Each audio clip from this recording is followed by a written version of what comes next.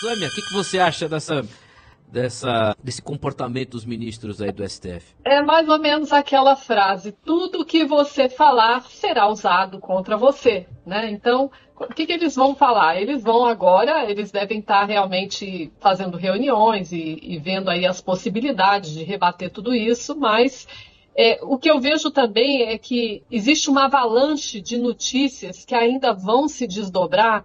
Então, no momento que eles tentarem rebater algo, vai vir outra coisa, porque são 541 páginas, né?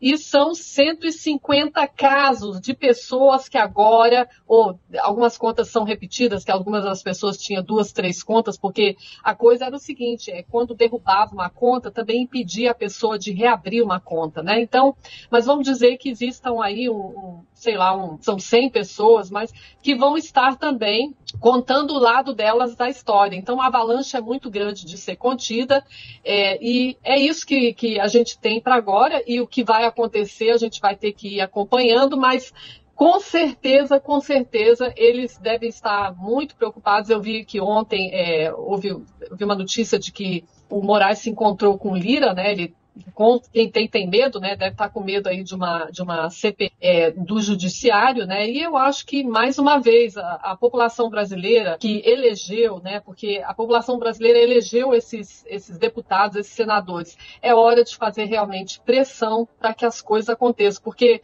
por mais que isso seja exposto no cenário internacional, é, é prerrogativa do nosso parlamento de agir. E eu falo isso também como alguém, olha, existem ativistas fora do Brasil Brasil. Todas essas questões, nós mesmos aqui na Alemanha, nós fomos os primeiros a entregar uma carta denúncia no parlamento, é, no parlamento alemão.